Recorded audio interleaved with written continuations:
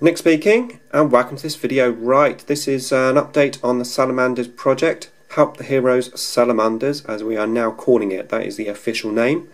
Um, so I'm going to show you my dread work in a minute but first of all uh, just an update on the project.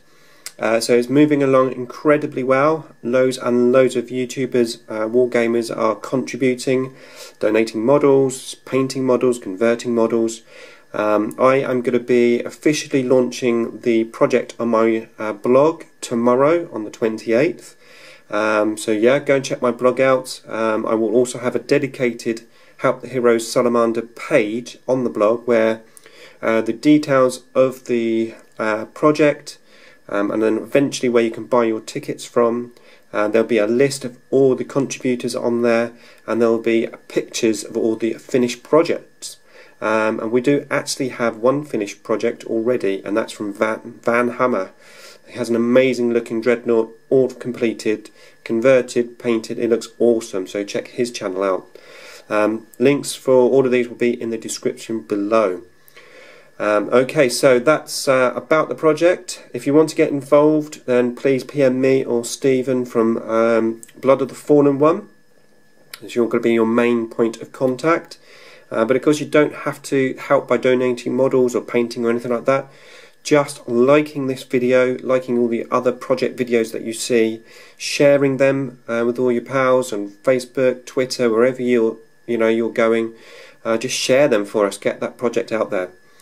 Okay, so this is an update then on my Dread. So this was my original Assault on Blackreach Melter gun. Uh, but I'm not going to be using that because I had a very nice little parcel from Chuffy and in there is a Salamander's Forge World resin melter gun so I'm going to be using this. Um, he also sent me some etchings, brass etchings. So I put one on here straight away. I had to strip this off because it was um, it was primed but it had a bit of chipping, so I just had to take take the black off. Uh, but yeah, that's looking pretty cool. I've magnetised it on the other side. I've then been working on the dread itself. Just come away here. There we go.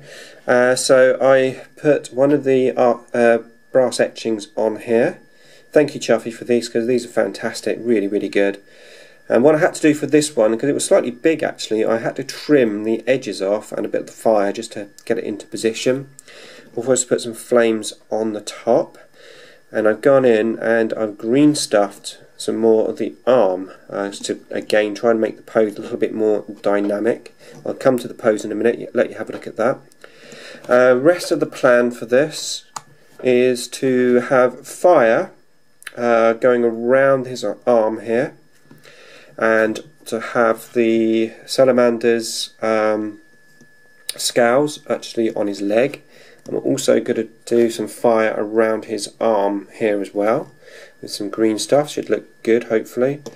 I've also gone in and drilled out the two bolter holes and actually on the Forge World one I've drilled out the, the holes of the melter gun as well uh, just to make it look slightly nicer.